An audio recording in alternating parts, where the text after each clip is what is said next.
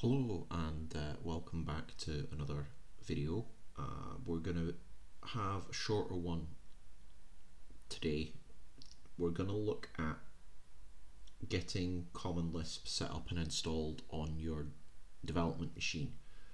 Um, as I've been making these videos, I was hoping there'd be a reasonably good online Common Lisp REPL, but there isn't.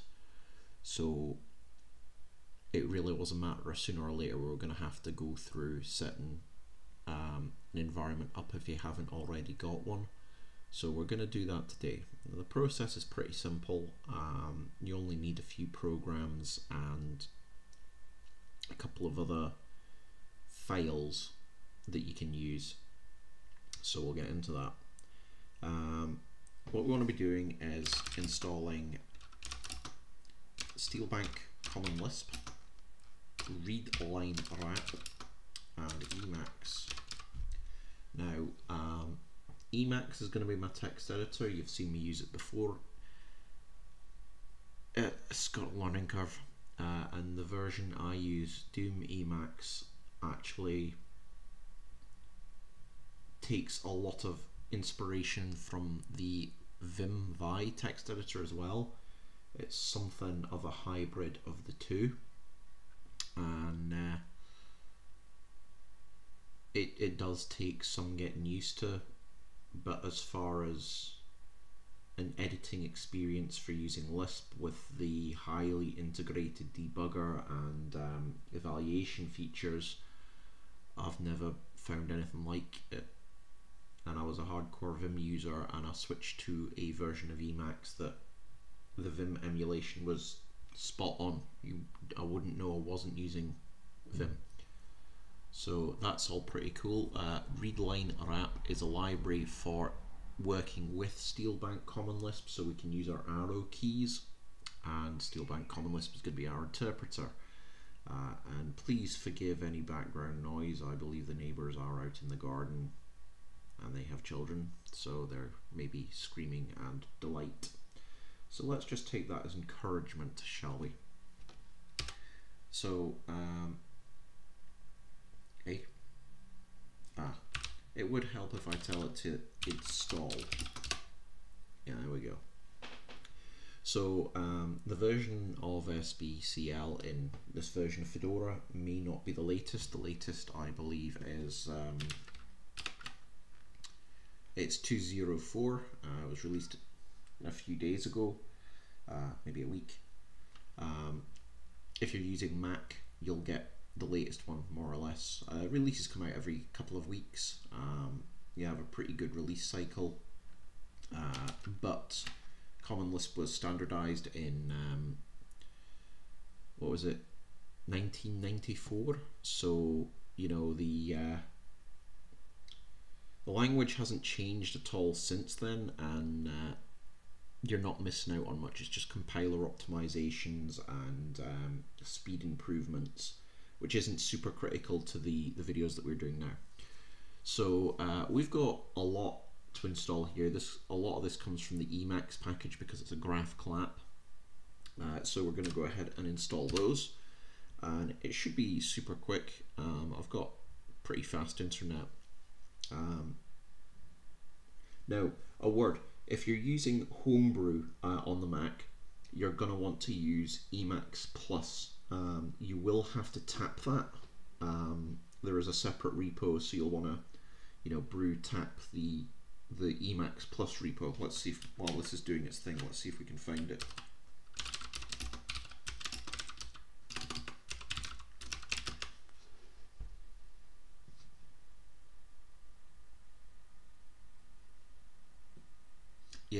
Yeah, D12 Frosted Homebrew Emacs Plus is the, the repo we want. So if you are using the Mac, you're going to want to brew tap this repo and then brew install Emacs Plus. Um, I have not needed the the options, although I may elect to reinstall without the Spacemacs icon because I'm not actually using Spacemacs. I am using a distribution called Doom Emacs. Um, which I believe I have mentioned before. Uh, so yeah, if you're if you're using Homebrew, um, these are the instructions you want, and you can use Spacemacs if you want. We're not going to install Spacemacs, um, but for completeness sake, if you want a slightly easier editor, uh, because the one I'm using is um, it is more it is simpler to um, work with Lisp code. Spacemacs is like an all-in-one kitchen sink um, version of Emacs. You probably wouldn't ever need to configure it, whereas the version I've got, because I'm wanting to use specific plugins and things like that, I've had to take more control and it's easier to start from Doom Emacs and add stuff than it is to start with Spacemacs and rip stuff out. Uh, so uh, we're going through the download step. If you're installing Spacemacs, it really is just a matter of doing a git clone in your home directory and this will install it. If you want to go my root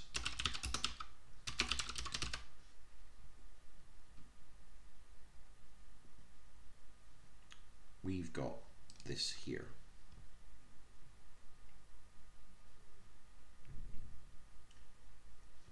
Uh, and let's see if we can find a comparison. So you know this is this is what Spacemacs looks like by default. This is what Doom Emacs can look like by default, and uh, that command is now completed. So let's uh, jump back to the terminal, and everything's been installed here. Just to prove it, we're going to run sbcl and we're just going to print hello world. That worked. And you see that I pressed the up arrow here and we got that weird control character. I'm going to press up again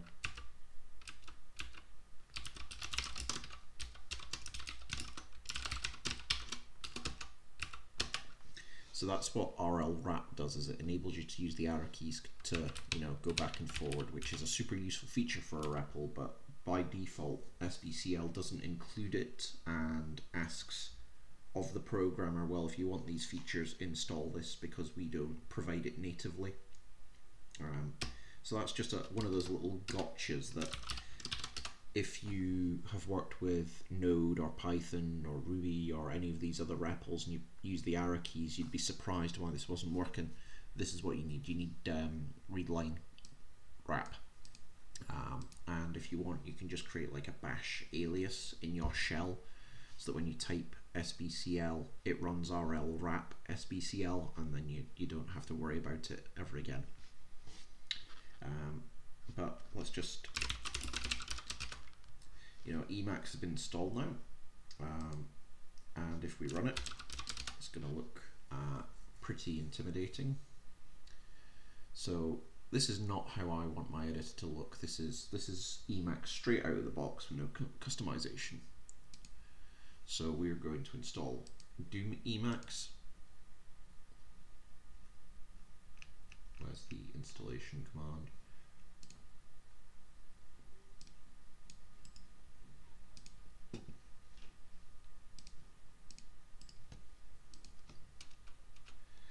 So that'll take a minute or two, um, probably less.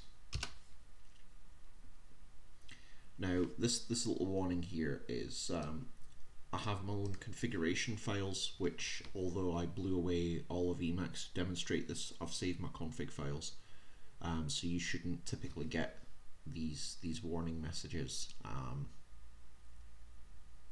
because you know I've, I've already configured some plugins um, but this this takes a while because it, it does have about 150 small packages to have to configure and build which sounds like a lot when you're setting up an editor but this is a one-time process really or something you do maybe once a month um, to make sure that the packages are um, up to date and uh, I apologise for that screaming child outside. It's not mine. I don't know whose it belongs to but it's probably one of the neighbours um, it's the summer, it's a warm day, and we're all supposed to be locked inside, and nobody is staying inside.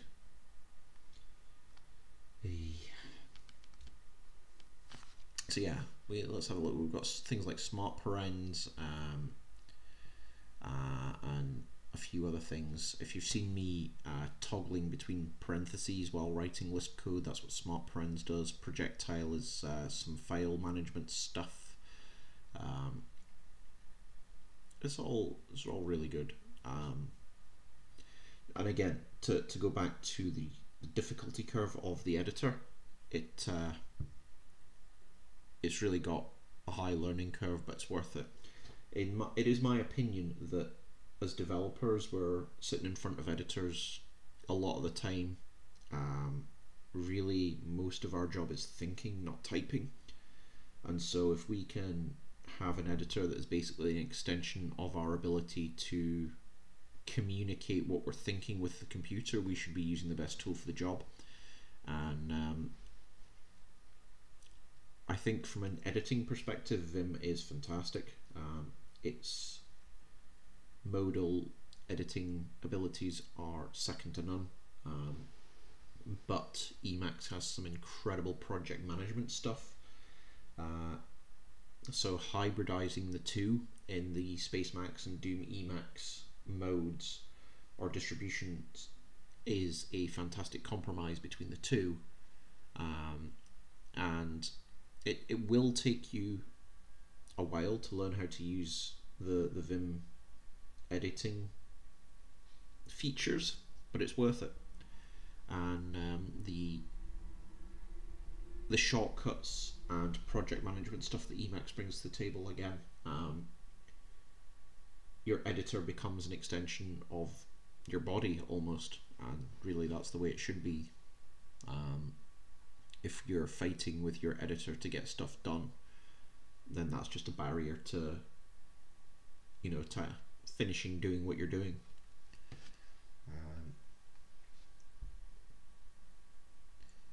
Now, there's something else we can be doing, so uh, let's open another window.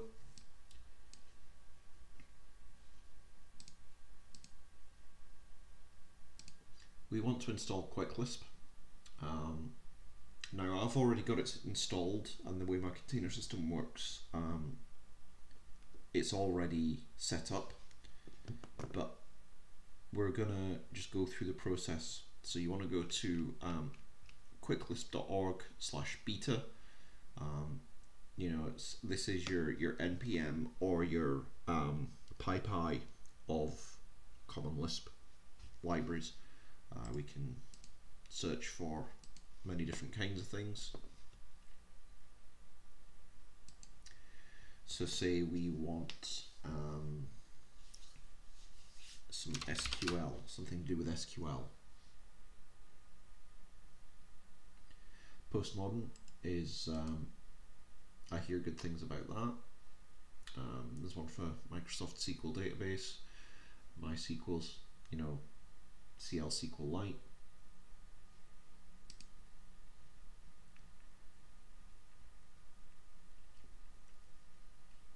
Uh, let's see. There's a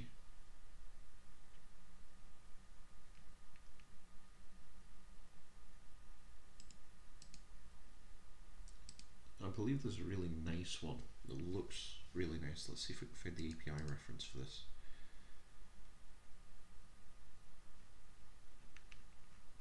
Oh yeah, documentation, not the best. A lot of this is auto-generated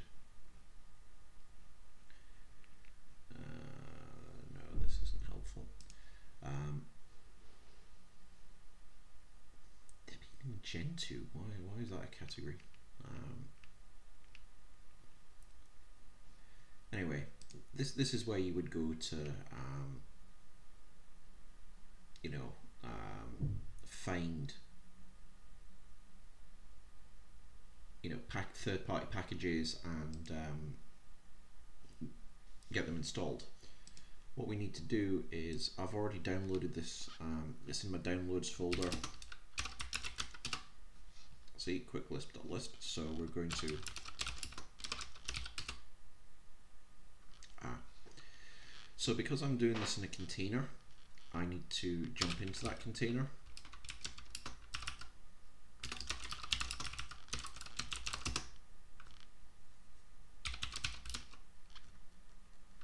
totally not what I wanted to do.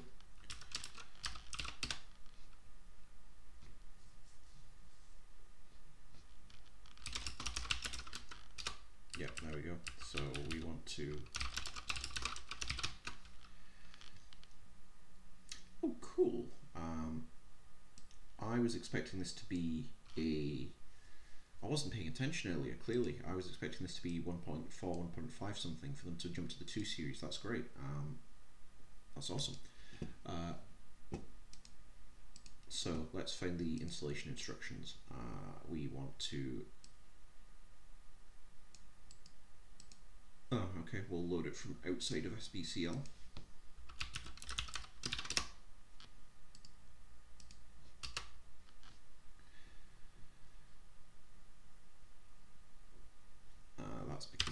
doesn't exist, of course, because it's in my downloads.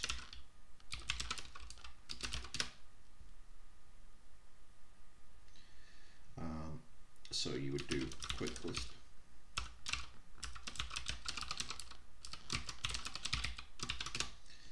um, now we're getting an error here because it says it's already been installed, which it has. So I'm going to abort, but you would continue. This would ask you um, if you wanted to install it to your SBCL init file, which uh, if we go to the documentation, you know, it says we, we do quick start install. This is what you would normally see. Um, at the end here, you'll get this message. And you definitely want to run this um, because this will mean that um, you have access to QuickLisp um, all the time. And this means that I can do this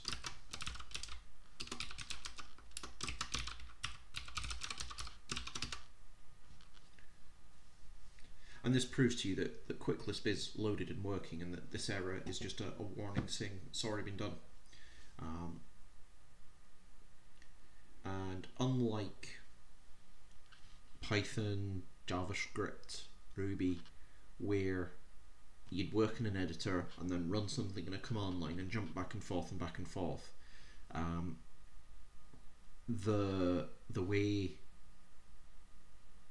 you typically work with with Common Lisp is to in fact stay in the editor, occasionally run a command um, that is bound to the editor, which I'll, I'll show you how that would work once the Emacs packages finish installing. Um, but you, you can see here that we now have access to CL project. Now I'm I'm going to make this fail because this expects an argument. Um, but it this error isn't that this doesn't exist it's that I gave it the the wrong variable name uh, by default because I, I, don't want to start a project here. Um, so you can see that just using um, QL quick load we can get access to these packages and to prove it um, let's jump back here. Oh that's search results. Uh, let's go to the top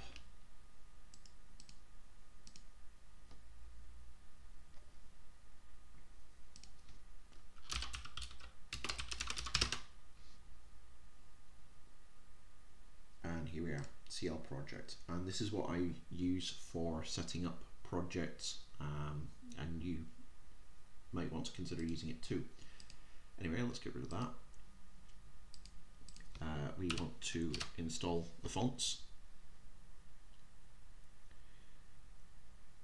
and we are done.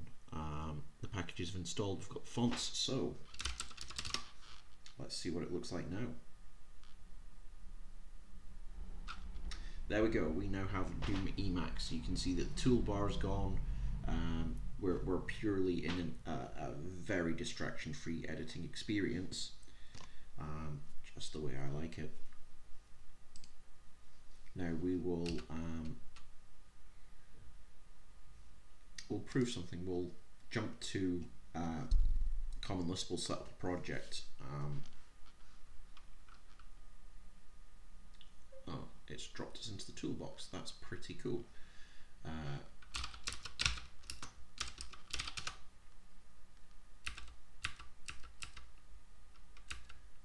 so let's load CL project. Uh, this is when we were doing the heads or tails thing. Uh, demo project. So that's gone away and built us a demo project. So I'm going to type space FF if you see in the bottom left hand corner. Uh, we're going to go to QuickLisp, local projects, demo project. Now uh, installing QuickLisp will, ins will create this QuickLisp folder in your home folder and this is where you, you build packages really. Um, so local projects are projects that you've either cloned from Git or you've created yourself. Um, and this is where QuickLisp knows to find projects and stuff. So it's probably just easier stick with this directory structure. So we've now got our main.lisp file, um, and you'll see at the bottom it's uh, trying to connect to um, Slink, which is the um, REPL. So uh, let's just make this a wee bit bigger. And again, just by opening this, we've got a REPL here, it connected.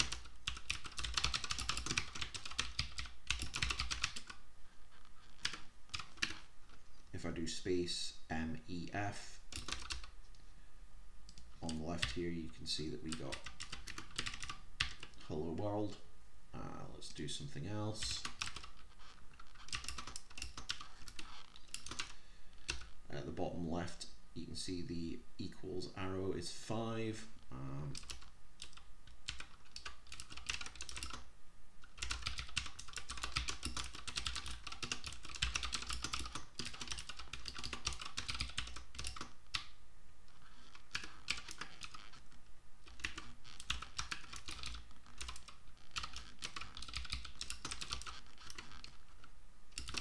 Sorry for the squeak, that's my uh, armrest.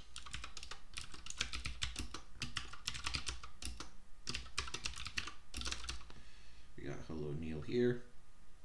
So you can see that this is all working and uh, if we wanted to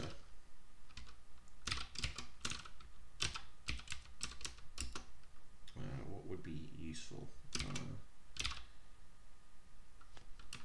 let's have a look and see oops see what's interesting um, yeah let's just load one of the SQL libraries. Um, CLSQL. CLSQL. And just by typing here in the editor, um, this is going to go away and download the package and store it into um, somewhere in local projects and I can now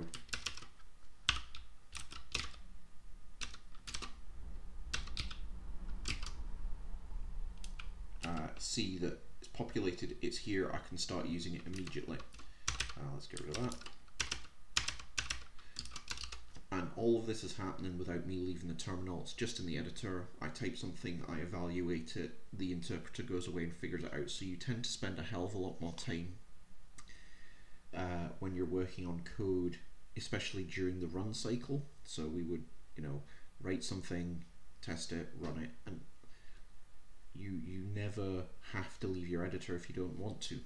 Um, and that is kind of the cool thing. So I think this video took a, a little bit longer than I was expecting um, but this is how you would set up Common Lisp for your machine. Uh, I hope that was helpful. I've got another couple of Common Lisp videos due out soon. Um, so if you get stuck and you want to start running these examples locally, this is how you can follow along and set it up. Uh, so have a good day, stay safe during the, uh, the coronavirus outbreak, and I will see you later.